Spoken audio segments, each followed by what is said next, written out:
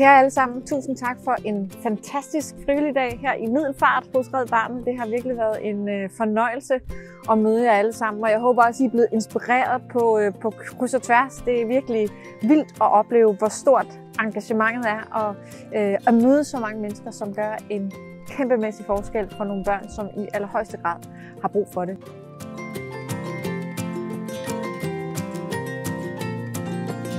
Jeg har været med i otte år.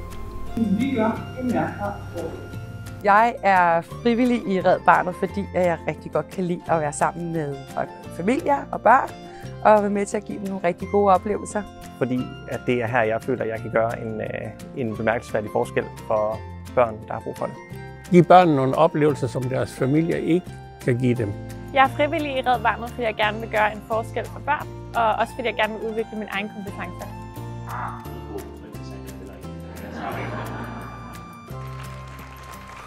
Tak for i dag. Jeg håber, at I har haft en rigtig god dag, og vi ses.